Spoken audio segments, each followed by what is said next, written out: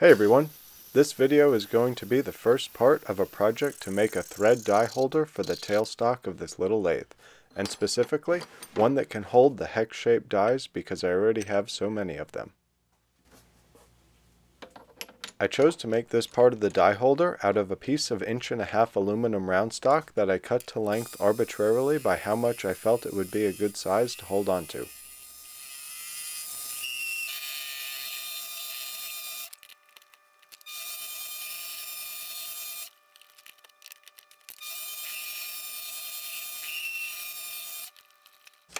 The first main operation was to drill a through hole and work my way up to a half inch diameter. I probably would have gone larger had I had a larger drill bit that was sharp enough to use.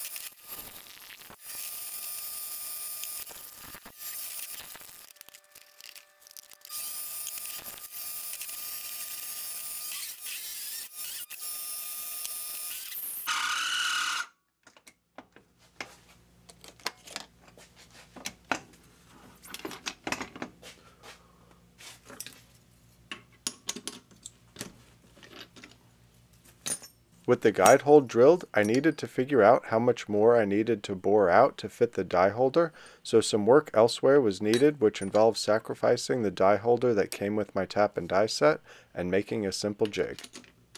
The jig for this part of the project is just a simple scrap piece of aluminum with an M6 threaded hole and a shoulder that is a touch smaller than the major diameter of the hex-shaped dies.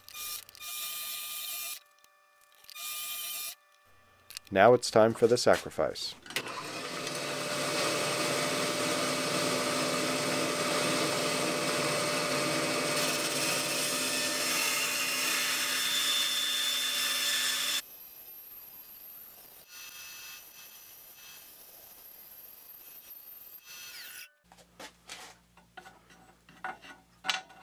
It's always sad to see a good tool destroyed, but it's worth it for the sake of making a better tool. And I decided to do it this way because I don't have a mill to get close to a hex shape or a huge expensive broach to cut the hex shape directly. And with the handles removed, the next step is to clean up the outer diameter with the help of the jig. It's simply clamped on using a fender washer and an M6 cap screw.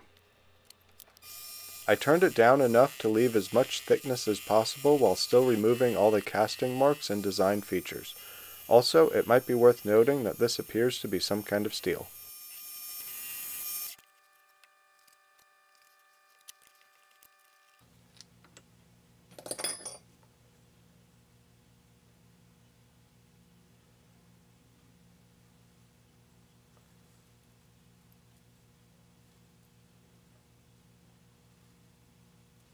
Because I needed to bore out the end of the handle large enough to accept the freshly turned hex adapter, I wanted to roughly mark the size of the adapter so I know when I'm getting close to the final size.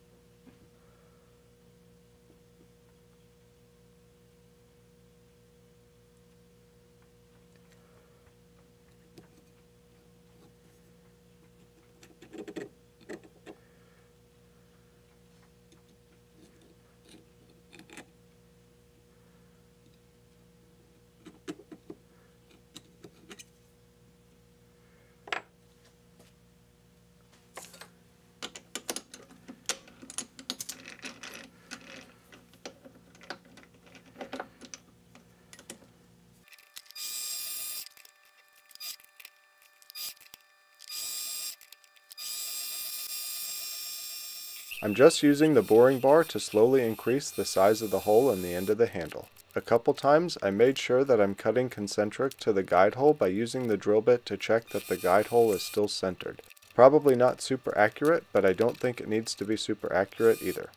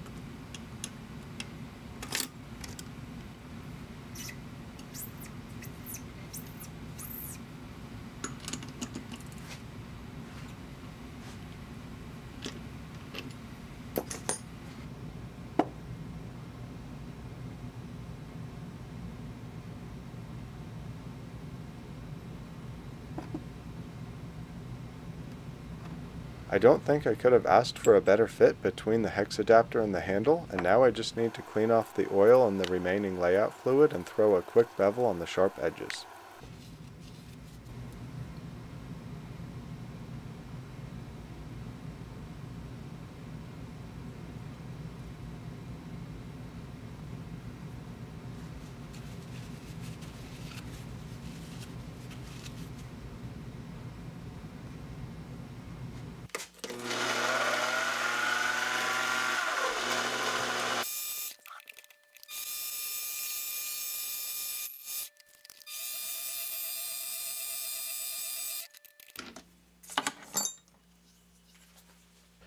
Since I don't want this to ever come back out, I'm using a very generous amount of green Loctite and pressing the hex adapter into the handle with the help of the jig making a second appearance as a spacer.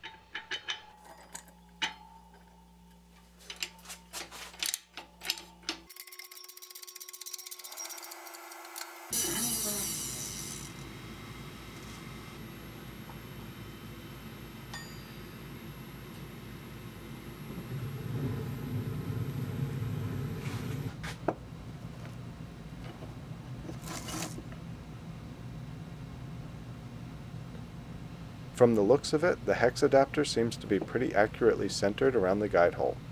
Even when using a die as a reference, it seems to be nearly perfect.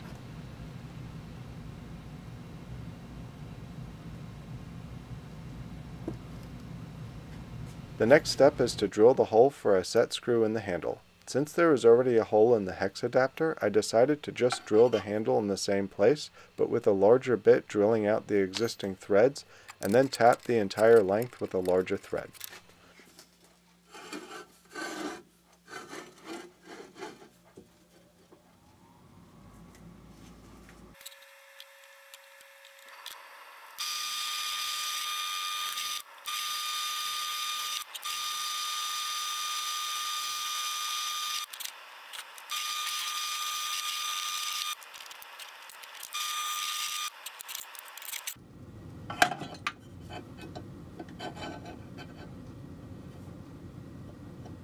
I'm not sure if I got it exactly centered on the original set screw hole, but I'm not complaining at how it turned out. I decided to tap it with an M6 thread since that seemed to be the next largest size.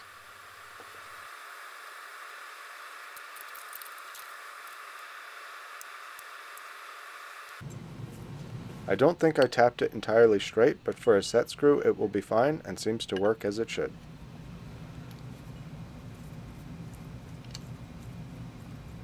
Also, with the set screw going through both pieces, that will help prevent the hex adapter from spinning inside the handle.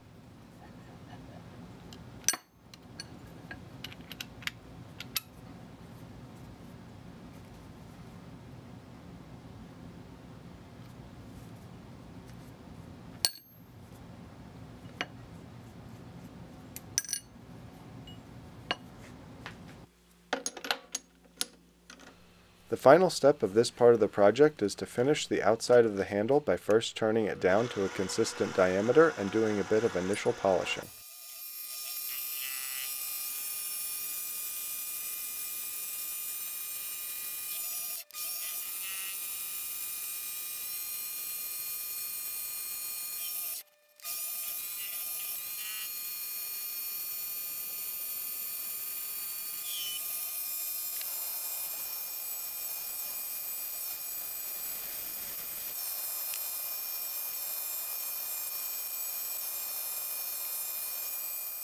If I were to make one of these again, I would give myself a little extra material so I don't have to flip the part to finish the outer diameter, but at least this way I don't end up with any scrap.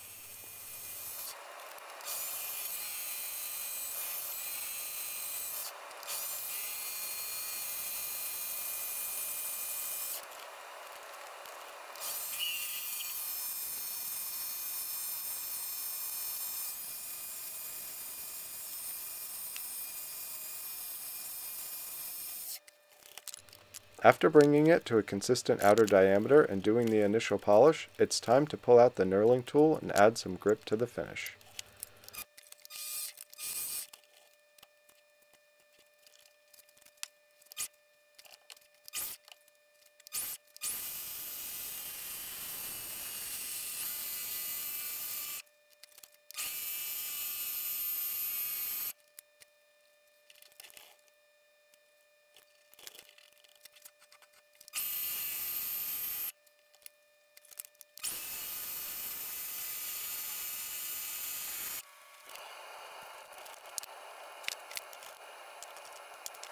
I also added a few decorative grooves to the knurling to both add some interest and clean up the spots where I started and stopped the knurling tool.